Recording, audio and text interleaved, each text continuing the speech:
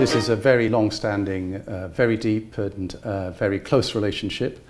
Uh, it goes back hundreds of years. Uh, in fact, one of the uh, pictures on the wall there is of a treaty which dates from 1800, which is known as the Unshook Treaty because it talks about a friendship between Oman and the United Kingdom which will remain unshook until the end of time.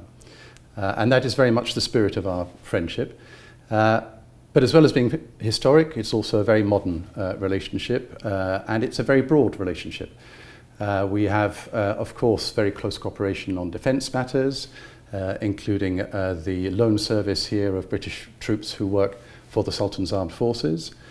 We had our biggest joint exercise anywhere in the world for 20 years in Oman in 2018, uh, Saif Sareea 3. Uh, so we have a very close defence relationship, but it's much broader than that. On the economic side, uh, Britain accounts for around 50%, half of all foreign direct investment in Oman. We're by far the biggest foreign direct, uh, direct investor. Um, and we have uh, businesses operating in every sector, not just in the hydrocarbon sector. Uh, but I think above all, um, it's the people-to-people -people relationships which underpin all of that. Uh, we have some 2,500 Omani students every year in universities and colleges in the UK. Uh, we have partnerships between UK universities and uh, Omani universities. Uh, and we have close links um, between uh, Omanis and uh, British nationals, both living here and in the UK in all sorts of sectors. So it's a very deep and, and close relationship. Uh, thank you, Your Excellency. You know, you just mentioned about the picture that is right behind me right now. Yeah. Talking on those lines, are there any other historic moments or achievements that you would like to highlight? Uh, there is so much, it would take a long time to, uh, to uh, encapsulate it all.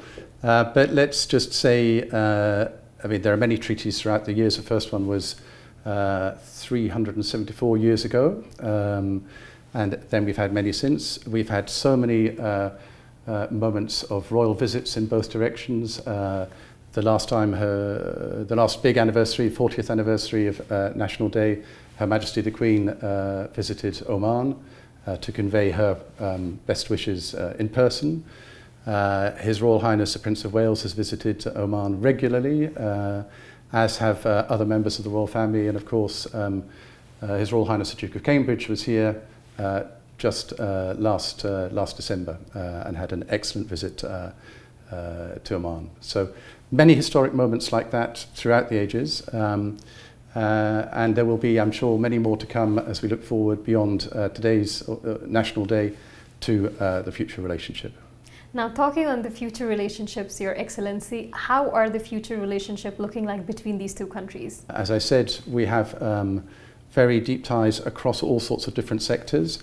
Uh, and we're looking at, uh, at, at new areas as well. So we're very conscious that Vision 2040 sets out uh, some very uh, interesting, exciting, ambitious uh, objectives for Oman. Uh, and a lot of that is on the digital side uh, and the cyber side.